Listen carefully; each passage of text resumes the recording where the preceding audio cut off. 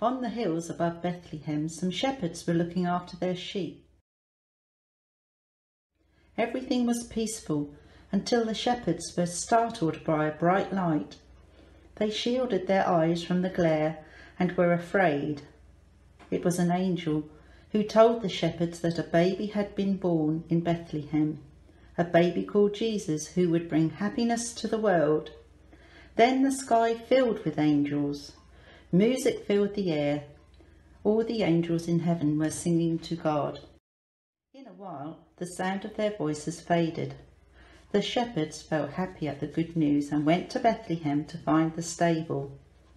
When they got there, they saw Jesus lying in the manger with Mary and Joseph looking over them.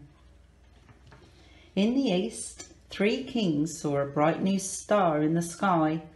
They followed it across deserts and through towns and villages until it came to rest over the stable. When they got there, they knelt on the dusty floor and gave him gifts. One gave gold, one frankincense, and one myrrh. And that is the story of the first Christmas, long, long ago.